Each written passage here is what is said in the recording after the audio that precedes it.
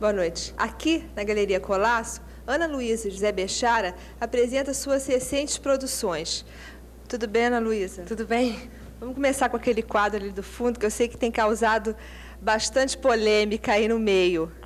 É, esse quadro deu um pouquinho de confusão, porque acho até que eu não devia ter colocado. A história é a seguinte: é, é uma tela onde eu, eu, eu desmontei um telefone nela.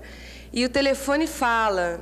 E o que, que aconteceu? Quer dizer, eu tentei integrar a pintura no telefone e fazer tudo uma coisa só, quer dizer, de forma que às vezes você não percebesse partes de coisas que estão na tela, que ela ficasse toda unificada.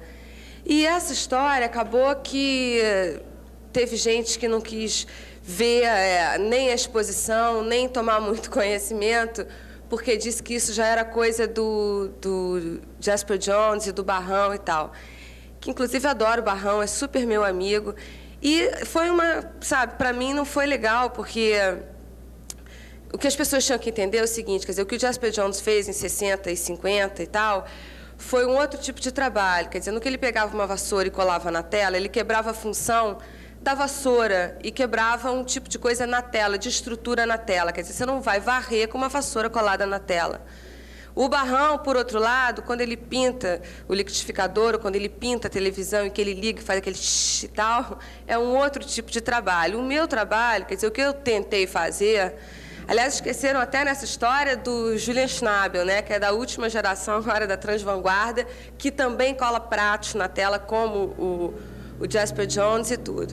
Você Agora, tem um, uns, um quadro ali que também você colou discos e é, tal. Isso eu vou te explicar depois. É, o que aconteceu com o telefone, na verdade, é o seguinte: eu não quebrei nem a função da tela como tela, quer dizer, ela continua sendo uma tela.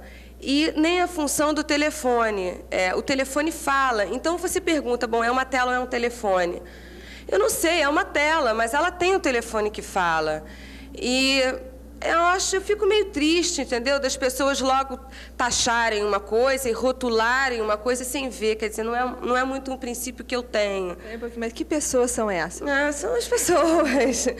Um os monte. críticos, os artistas, enfim, quem são? Pessoas, várias pessoas. Eu acho que eu não preciso falar as pessoas, porque as pessoas vão saber quem, quem elas são, entendeu? Eu só fico meio triste. Agora, você falou do disco. O disco é um outro tipo de trabalho é, que eu antes, eu há um ano atrás, eu pintava é, os discos sozinhos e eles existiam por eles.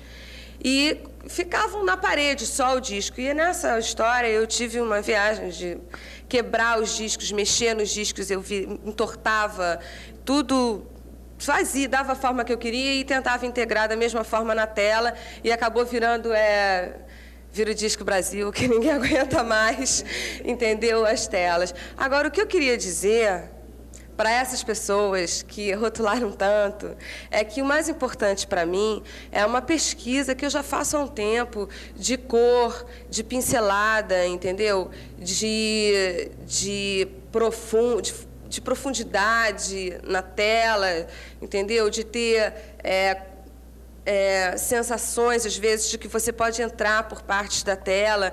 Realmente, o meu trabalho é tela, tinta, cor, pincel, entendeu? Eu preparo é, várias tintas. É, e é uma pesquisa que eu estou batalhando em cima, dentro de ateliê, há bastante tempo. Eu acho que pode até ter sido um erro meu ter misturado esses outros trabalhos, tá? É, com os outros que são só pintura realmente. Então, agora vamos falar dos outros. Vamos falar daquela visão ali do pão de açúcar. Como é que é? Não. é? Como é que é essa história? Isso aí foi uma outra tentativa minha é, de autossabotagem. Quer dizer, eu tenho meio um processo de, às vezes, me autossabotar quando eu estou fazendo um trabalho, né? É, porque eu acho que eu posso crescer mais, quer dizer, eu tenho que dar mais, e aí eu vou crescer mais, é um nível de dificuldade que eu vou criar. Isso acontece, inclusive, com as coisas que eu tenho na tela. E o, o, o, o pão de açúcar, ele não é o pão, quer dizer, é abstraindo o pão de açúcar. A ideia foi a forma do pão de açúcar, mas que tivesse a sensação de que não existe. Quer dizer, quem olha não sabe que é um Depois que lê o título, vai começar a perceber pequenas coisas na tela. E aquele outro lá? Aquele lá, ele demorou quatro meses, foi o trabalho que eu mais demorei para acabar. e ele as pessoas achavam que ele estava acabado e tá É o trabalho que você mais gosta também, né? Ou não? Não sei, não, eu não sei. Às vezes eu gosto mais, às vezes não, não sei se é o que eu mais gosto. Eu sei que ele é o único que ele não tem, ele nunca tem um pai dele. E eu acho que é um choro assim de cor, de, de ilusão, mesmo de coisa, e eu acabei esse quadro. É, ele tem enorme, né? Porque eu não conseguia dar um, um título. E ele virou verde que era verde, peixe que cor que era intensa, Brasil que era íntegro, porque eu não conseguia dar um nome. Bom. E, Ana Luísa, me diz uma coisa. Dá o número do telefone daqui e o endereço ah. para gente, para as pessoas que quiserem apreciar Bom, seus trabalhos terem a oportunidade de fazê-lo.